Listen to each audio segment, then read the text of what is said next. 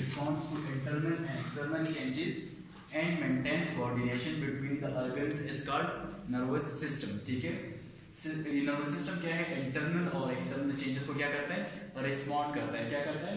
Respond करता है और ऑर्गन्स के दरमियान जब एक सिस्टम को कमांड करता है तो उसके सारे ऑर्गन्स को क्या कहता है? उसके सारे ऑर्गन्स फिर कोऑपरेट करते हैं। क्या करते हैं? एक दूसरे के साथ कोऑपरेट करते हैं तो एक्सटर्नल चेंजेस क्या होगी प्रेशर होगा टेम्परेचर होगा पेन किसी चीज़ को अपने टच किया गर्म है ठीक है? फिर टच किया तो ठंडा है तो ये कौन सेंस कर रहा है?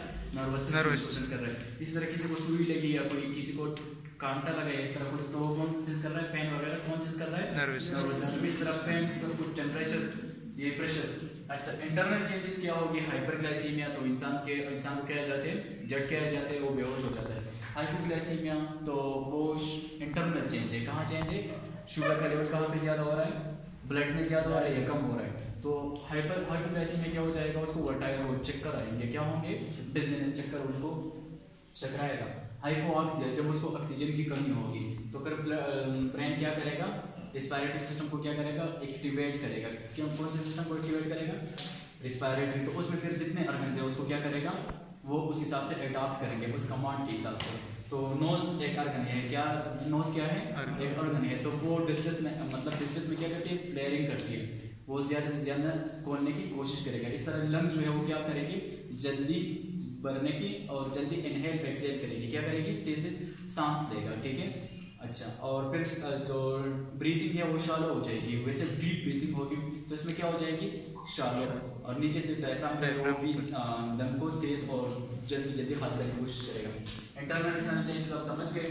वैसे इन दोनों को क्या कहते हैं? स्टिमुलस कहते हैं। क्या कहते हैं? Change A change which is sensed by the body is called stimulus. Stimulus.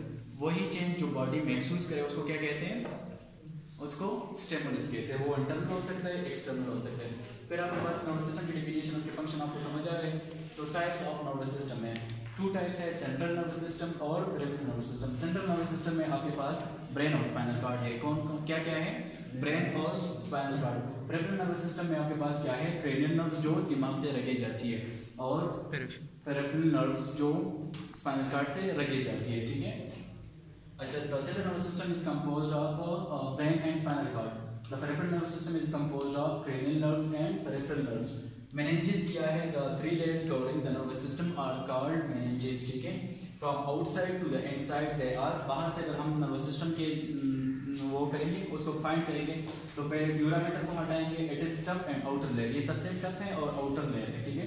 फिर इसके नीचे कौन सी है? वो लेयर हमने हटा दिया तो एरेक्नाइड मैटर है। कौन सा matter arachnoid matter it is the layer between dura and pia matter it contains the CSF ये क्या इसमें क्या होता है?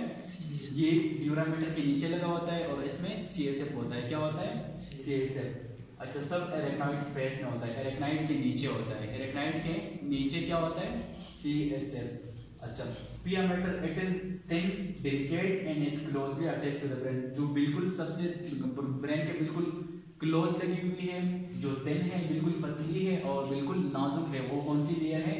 पिया मेटल अच्छा CSF फिर एक लफ्ज आ गया what is CSF that is this is the fluid present in the brain tissue ventricles of the brain uh, brain and subarachnoid space ठीक है? CSF क्या बता है? ये वो फ्लूइड uh, है क्या है? फ्लूइड है जो ब्रेन के टिश्यूज में है वेंट्रिकल्स में है ब्रेन के ठीक है? सब अरेक्नाइड स्पेस में है कहाँ पे है? सब अरेक्नाइड स्पेस में है। अच्छा इसको पैदा कौन करता है? इसको प्रोड्यूस कौन करता है? It is produced by ventricles of the brain ventricles क्या चीज़ें हैं? They are the sacs in the brain वो क्या है? The sacs in the brain या the pouches in the brain ठीक है? कितने वेंट्रिकल्स है? टू दरमियान में ये दोनों कनेक्ट हो जाते हैं थर्ड वेंट्रिकल और थर्ड वेंट्रिकल सीधा कहाँ पे ड्राइव होता है? फोर्थ वेंट्रिकल और fourth ventricle foramen of Luschka के थ्रू पुरामिन किस चीज़ को कहते हैं? For P O R E hole को ठीक है? एक साइड पे दूसरे साइड पे दो पुरामिन है और वहाँ से ड्रेन हो जाता है कहाँ पे ड्रेन हो जाता है? सब एरेक्नाइट स्पेस में और सब एरेक्नाइट स्पेस से कहाँ चला जाता है शाबाश? वेंस में चला जाता है। कहाँ पे चला जाता है? और वेन से फिर ब्लड में चला जाता है। तो प्रोड्यूस ब्रेन के और ब्रेन कहाँ पे होता है? खत्म कहाँ पे होता है? वेंट्रिकल में। It is absorb into the veins from sub arachnoid space ventricle क्या है? The pouch are the sacs in the brain सारी लफ्ज आप सारी चीज़ें क्लियर है?